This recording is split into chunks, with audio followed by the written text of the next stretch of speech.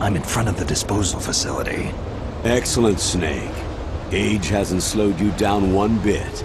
How's that sneaking suit working out? I'm nice and dry, but it's a little hard to move. Bear with it. It's designed to prevent hypothermia. This is Alaska, you know. Take it easy. I'm grateful. If it weren't for your suit and your shot, I would have turned into a popsicle out there. An anti-freezing peptide snake. All of the genome soldiers in this exercise are using it. I see. I'm relieved to hear that. Already tested, huh? By the way, how's the diversionary operation going? Two F-16s just took off from Galena and are headed your way. The terrorist radar should have already picked them up. A Hind D. Colonel, what's a Russian gunship doing here? I have no idea, but it looks like our little diversion got their attention.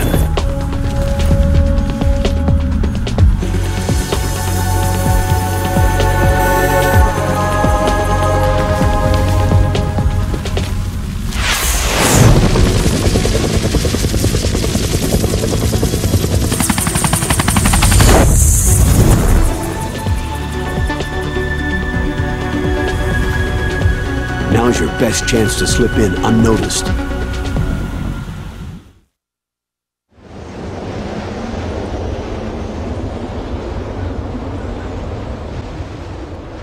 There are only 18 hours left until their deadline. You've got to hurry. Wow, he must be crazy to fly hind in this kind of weather. Who's that? Oh, sorry. I haven't introduced you two yet. This is Mei Ling. She was assigned to us as our visual and data processing specialist. She designed your codec, as well as your Soliton radar system. Contact her if you have any questions about either of them. Nice to meet you, Snake. It's an honor to speak to a living legend like yourself. What's wrong? Nothing. I just didn't expect a world-class designer of military technology to be so... cute. You're just flattering me. No, I'm serious. Well, I know I won't be bored for the next 18 hours. What's this? I'm being hit on by the famous Solid Snake? But I'm surprised. I... I didn't think you'd be so frank. Looks like we both have a lot to learn about each other. It does, doesn't it? Well, let's get to know each other better. But first, let me explain about your Soliton radar system. The bright dot in the middle is you, Snake. The red dots are your enemies, and the blue cone shape represents their field of vision. Be careful, Snake. The genome soldiers have highly developed senses of hearing and vision due to their gene therapy. Make sure you don't let them see you. First, I want you to infiltrate the disposal site and look for the DARPA chief. The DARPA chief was injected with the same GPS transmitting nanomachines as you. He should appear on your radar as a green dot. Get whatever information you can from him about the terrorists. If he's alive, that is. Snake, your radar isn't affected by the weather, but if you're discovered by an enemy, you won't be able to use it. Yes, it gets jammed easily, I'm afraid. Yes, it's all made from currently existing technology. You won't be able to use it in an area with strong harmonic resonance, so be careful. We'll be monitoring your movements by radar. So contact us by codec anytime you want. Got it. I'll call if I'm feeling lonely. Seriously, Snake. We're here to back you up, so call if you need some information or advice. I'm also in charge of your mission data. Contact me if you want me to save your current status. My frequency is 140.96. It's a dedicated frequency for saving data. Don't forget it. Remember, except for your binoculars, you need to arm yourself with whatever weapons you can find. I remember. First, I'm strip searched by Dr. Naomi here, and then all my weapons are taken away. Imagine yourself put in that position. Well, if you make it back in one piece, maybe I'll let you do a strip search on me. Hmm, I'll hold you to that, Doctor. By the way, sorry to disappoint you, but I did manage to smuggle out my smokes. How did you do that? In my stomach. Thanks to the shot you gave me that suppressed my stomach acids. Cigarettes? How are those going to help you? You never know.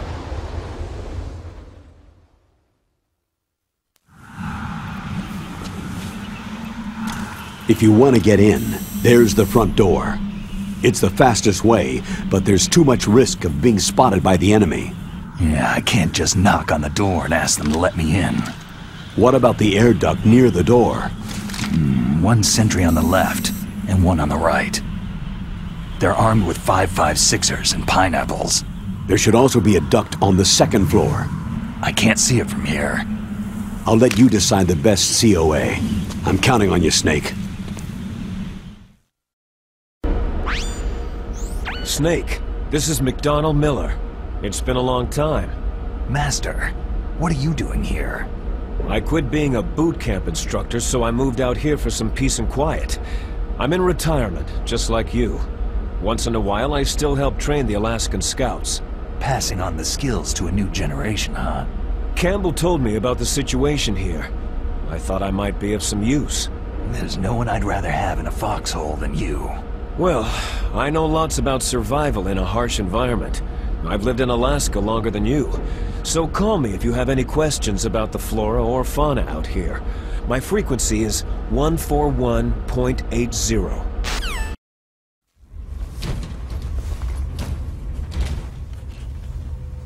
I moved the DARPA chief to the cell in the first floor basement. What about the vent shaft cleaning? Oh, they just opened the vent covers. They're about to start spraying for rats. First floor basement ventilation shaft. Shut those covers as soon as they're done spraying. Also, keep your eye on that woman in the cell. Don't get careless now. Woman in the cell? Did something happen? There's an intruder. Really? He's already done three people. He's killed three people? Yeah, and they say he's using stealth, too. Stealth? There's an intruder besides me? Anyway, I want you to increase the security detail on the chief.